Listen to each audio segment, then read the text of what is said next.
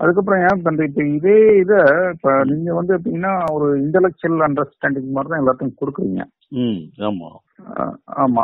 இதுல எனக்கு நான் வந்து எங்க வந்து அதிகமா கன்ஃபியூஷன் இதாகுன்னா ம். இந்த அகம் எது புறம் எதுன்னு பிரிக்கிறதுல வந்து ஒரு கன்ஃபியூஷன் வருது. அதுக்கப்புறம் வந்து இந்த புரிஞ்சுக்கிட்ட தெரிஞ்சுக்கிட்ட உறுதிப்படுத்துறதுல ஒரு கன்ஃபியூஷன் வருது. இந்த மூணு தான். அதாவது ஒண்ணு வந்து ஞானம்னா என்னன்னு சொல்லி விளக்குறது ஒரு ஆஸ்பெக்ட் ம். அதுக்கப்புறம் வந்து அகம் புறம்ங்கிற அந்த கன்ஃபியூஷன் எது அகம் எது புறம்ங்கிற புரிஞ்சுக்கிறதுல ஏன்னா அங்க நீங்க நானும் வந்து அகம்ங்கிற வந்து மொத்தத்தில் நம்ம உடம்புல உள்ள எல்லாமே அகம் அப்படிங்கிற மாதிரி தான் நினைச்சிட்டு இருந்தேன். அதுக்கப்புறம் இன்னும் கொஞ்சம் தெளிவா போனோம்னா உணர்வும் அந்த ஒரு ஆசிலேட்டிங் மைண்ட் தான் அகம் எடுத்துக்கலாம் அதுக்கப்புறம் மனசுக்குள்ளேயே ஒரு செயல்படும் அம்சம் இருக்கு. இப்ப நான் நம்மளா தான் திங்க் பண்றோம் நம்மளா தான் கற்பனை பண்றோம். அதெல்லாம் செயல் அம்சம் தானேயா ம் ம். இல்ல அது அதுவும் பார்த்தா அகம்மா இல்ல எதுவா இருந்தாலும் இப்ப நீங்க ஒரு இதை வரும்பொழுது நீங்க உங்களை சரி பண்ணணும்னு நினைக்கிறீங்களா? செயலை சரி பண்ணணும்னு நினைக்கிறீங்களான்னு ஒரு கேள்வி எழுப்புறீங்கன்னு வச்சுடுங்களேன் ஆமா அப்போ நீங்க உங்களுக்கே தெரிஞ்சிடும் உங்களை சரி பண்ணணும்னு நினைச்சீங்கன்னு சொன்னாலே நீங்க அகத்தை சரி பண்ணணும்னு நினைக்கிறீங்கன்னு அர்த்தம். செயலை சரி பண்ணணும்னு நினைச்சீங்கன்னு சொன்னா நீங்க அகத்தை விட்டுட்டீங்கன்னு அர்த்தம்.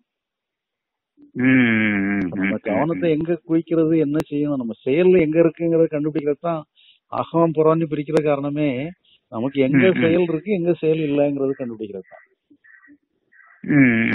இப்ப நீங்க என்ன செயல் பண்ணணும்னு நினைக்கிறீங்க நம்ம அமை மனசுல நல்லா அமைதியான நிலையோட இருக்கணும்னு நினைக்கிறீங்களா நீ கேட்டோம்னு சொன்னா.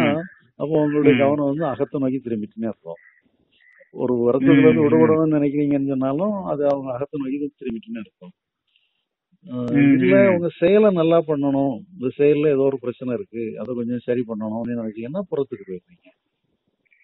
அப்ப வந்து நான் வந்து எந்த நிலையில இருந்தாலும் ஒரு சந்தோஷமான நிலையில இருந்தாலும் சரி ஒரு வருத்தமான நிலையில இருந்தாலும் சரி இல்ல கவலையான ஒரு குழப்பமான நிலையில இருந்தாலும் சரி. என்னோட குழப்பத்தை தீர்க்கணும் கவலையை. தீர்க்கணும்னு சொல்லிட்டு நான் எம் பண்ணக்கூடாது ஆமா. சரி ஓகே அது அப்படி இருக்குதுன்னா இருந்து போட்டுன்னு விட்டுட்டு ஆமா. நமக்கு புறத்துல ஏதாவது வேலை என்ன செய்யணும் அங்க வேலை இல்லைன்னா அவங்களுக்கு சும்மா இருந்துக்கலாம். அவ்வளவுதான். ஆனா நான் வந்து என் கவலையை நான் மாற்றணும் அப்படின்னு சொல்லிட்டு அந்த ஒரு மாற்ற முயற்சி ஏற்படுறது தான் வந்து தேவையில்லாத தெரியும் அப்பந்தான் அகம்புறமே நம்ம அகம்னா என்ன புறம்னா என்னங்கிற கேள்வி அங்கதான் வருது. அப்ப நீங்க சொல்றபடி இப்போ அதுல கூட ஒரு. அதாவது நாம் நம்ம நம்ம சம்பந்தப்பட்ட எல்லாமே வந்து அகம்னு எடுத்துக்கலாம். அதை நம்ம ஆமா. சீரமைக்கிறோன்னு நம்ம கவனத்தை எப்ப திருப்புறோமோ அது வந்து அந்த அகப்பகுதி. ஆமா. நம்மளை விட்டு இல்லாத பகுதி வந்து புறப்பகுதி. ஆமா. அதுல நமக்கு செயலுக்கு உண்டான எல்லா ஸ்கோப்பும் இருக்கு.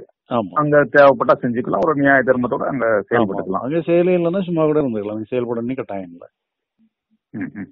இல்ல, நான் என்ன மாதிரி திங்க் பண்றதுன்னா இப்ப மனசுக்குள்ளேயே வந்து பாத்தீங்கன்னா இப்ப மூணு விதமான செயலா இருக்கு இப்ப நம்ம. மனசுக்குள்ளேயே வந்து ஒரு மனசால செய்யறோம் அதுதான் வந்து நம்ம திங்க் பண்றது. கற்பனை பண்றது திட்டமிடுறது இது பண்றது எல்லாமே மனசுக்குள்ளேயே தான் பண்றோம்.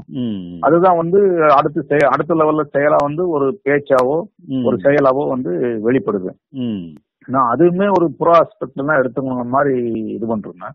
இப்ப நீங்க என்ன சொல்றீங்க நம்ம நான் என்னென்ன ஆஸ்பெக்ட் நம்ம கன்சிடர் பண்றோமோ அதை ம். அகமா எடுத்துக்கலாம் ஆமா செயலுக்கு தேவையான இப்ப எல்லாமே வந்து நமக்கு வந்து மகிழ்ச்சியா இருந்தா நல்லா பிடிச்சிருக்கு வருத்தமா இருந்தா பிடிக்கல டென்ஷனா இருந்தா பிடிக்கல அப்ப அதை சரி பண்ண. நினைச்சீங்கன்னு சொன்னா நீங்க உங்க உங்க கவனம் வந்து அகத்துக்குள்ள போயிட்டுன்னு அர்த்தம் ம், ம், ம், ஆஹ் ம். இல்ல செயல்ல வந்து ஏதோ தோல்வி அடையுது அல்லது செயலை ஆரம்பிக்க முடியாம தடமாற்றம் இருக்குன்னு சொன்னா அப்ப நம்ம கவனம் வந்து செயலை நோக்கி இருக்கு செயலை. நோக்கி நம்ம கவனத்தை வைக்கத்தான் செய்யணும் அதுக்கு முயற்சி பண்ணத்தான் செய்யணும் அகத்தை நோக்கி நம்ம முயற்சி பண்ணி நமக்குன்னு சொல்லி ஒரு ஸ்டேட்டை மெயின்டைன் பண்ணணும்னு அவசியம் இல்லை மோசமான ஸ்டேட் அப்புறப்படுத்திட்டு நல்ல ஸ்டேட்ல நம்ம இருக்கணும்னுட்டு முயற்சி பண்ண வேண்டியதில்லை இங்க நமக்கு. டார்கெட்டே இருக்கக்கூடாது. அங்க டார்கெட்டை வச்சுக்கணும் டார்கெட் இல்லாம இருக்கிறது தான் தப்பு இது வந்து கான்செப்ட் வந்து சிம்பிள் கான்செப்ட் தான். நம்ம தான். தேவையில்லாம போட்டு அதிகமா குழப்பிட்டு குழப்பிட்டு இருக்கோம் அதுல. சரி ரொம்ப ஏதோ ஒரு ஆராய்ச்சி பண்ணி. அதாவதுமா நீங்க புரிஞ்சுக்கிட்டீங்க. அது எப்படி புரிஞ்சுக்கிட்டோங்கிறது தெரியாமலே சில குழப்பங்கள். அதாவது ரொம்ப ஆராய்ச்சி பண்ணும்போது நம்ம குழப்பம் இருக்கக்கூடாது இதுல ஒரு ஒரு உதாரணம் சொல்லியிருப்பாங்க. அந்த நிறைய ஆயிரங்கால் பூச்சின்னு சொல்லுவாங்க இல்லையா? ஒரு பூச்சி வந்து அது அது பாட்டு நடந்து போயிட்டு இருக்கோம். ஒருத்தர் அதுகிட்ட கேள்வி கேட்பாங்களாம்.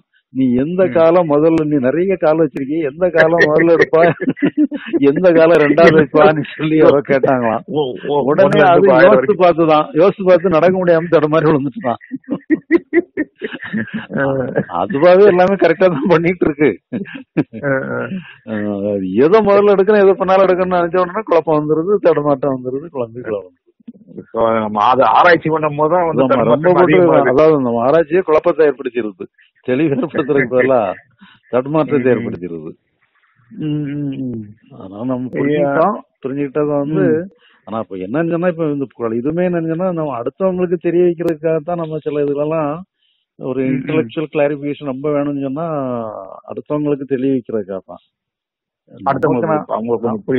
ஆமா நமக்கு நாமளே புரியணுங்கிறதுக்கு வந்து நமக்கு அந்த அளவுக்கு ரொம்ப போட்டு ஆராய்ச்சி பண்ண வேண்டியதில்லை.